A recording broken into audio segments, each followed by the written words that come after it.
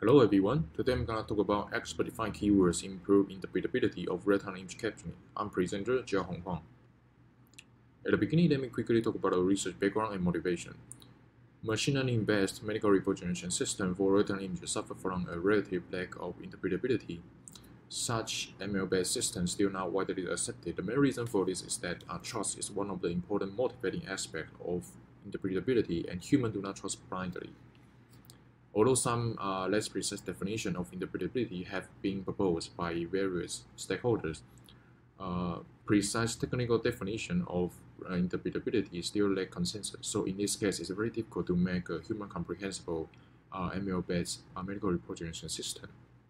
Post hoc explanation methods such as heat maps are widely used to improve the interpretability of ML models.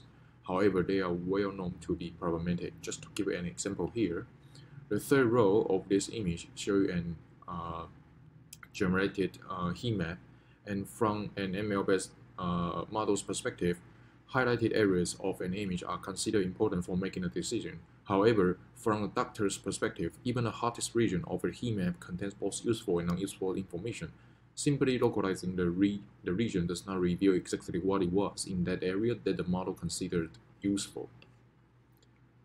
Let me quickly highlight the main contribution of this paper here. Expert-defined keywords, uh, we call it interpretability booster in this paper, are effective carriers of expert domain knowledge and they are human comprehensible.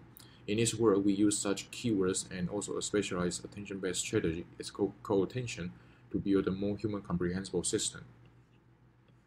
This is the proposed methods. It contains uh, many two parts. The first part is the image keyword filter, uh, the second part is a contextual transformer decoder. The keywords here we mean interpretability, interpretability booster.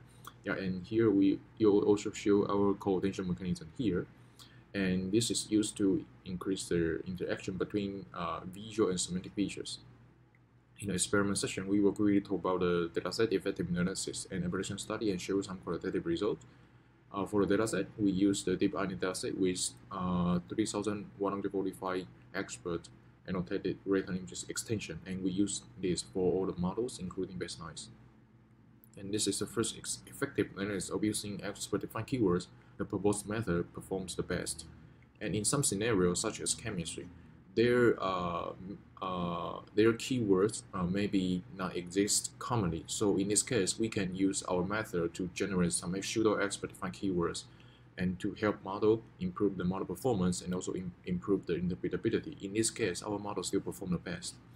And when we compare the model with pseudo expert-defined keyword and also uh, expert-defined keywords, you can see that there is a performance gap. However, in these two cases, uh, two cases, the performance is still better than the baseline models. Yeah, and we also do some application study you can see that image plus keyword, uh, especially with the co-attention mechanism, has the best performance compared to uh, the other two baselines. Uh, this is the first qualitative result. Uh, you can see that our method performs uh, better than the, the other baselines.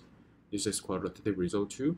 It's a visualization of image attention propagation through the text generation. And this is one more qualitative result.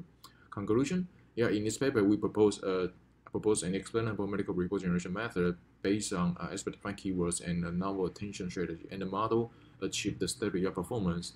For future work, proposing an automatic metric to measure explainability is an interesting future direction. Thank you.